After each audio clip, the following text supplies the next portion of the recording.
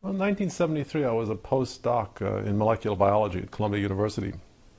And it was, it was a time really of, uh, of um, a lot of intense discussion. I had a lot of friends who were postdocs. Subjects came up naturally. And um, I just happened to come across um, a copy of the Wistar Symposium that was held in 1966 in Philadelphia. It's a collection of essays about Darwinian uh, theory. And I, and I, read Murray Eden's article, a critical article about Darwinian theory, and uh, Marcel Schutzenberger's critical argument about uh, Darwinian theory. And I started talking about it with um, the other postdoctoral fellows, people who were working in the laboratory at the time.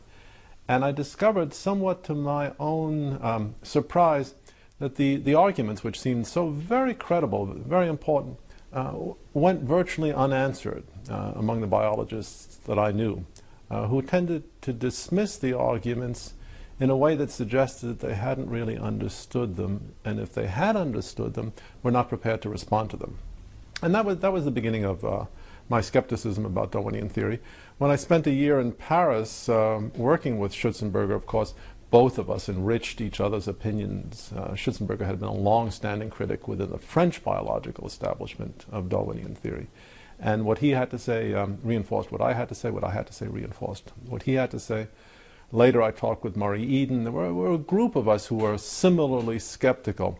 I must say, in the 70s, in the late uh, 60s and in the 70s, there was a much more intensive um, uh, degree of opposition to Darwinian theory, a much, uh, much greater willingness to um, examine Darwinian orthodoxies. Uh, the great counter-reformation took place in the 1980s and the 1990s. So when I started work, or when I started thinking about these issues, uh, Schutzenberger and I wanted to write a book together on this. Um, there, was a, there was a very relatively liberal um, attitude among mathematicians, people who were interested, uh, physicists, uh, people who were interested in Darwinian theory, a much greater willingness to, to wonder whether any of this could possibly be true. So that was roughly my own background, my own approach to it.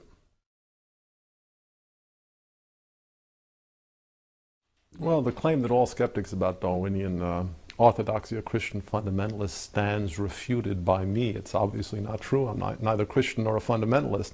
Um, but lots and lots of people are skeptical in the scientific community. Uh, I know dozens of mathematicians who scratch their head and say, you guys think this is the way life originated. It's absolutely a preposterous theory. And many, many very significant figures, John von Neumann, one of the great mathematicians of the 20th century, just laughed at Darwinian theory. He hooted at it.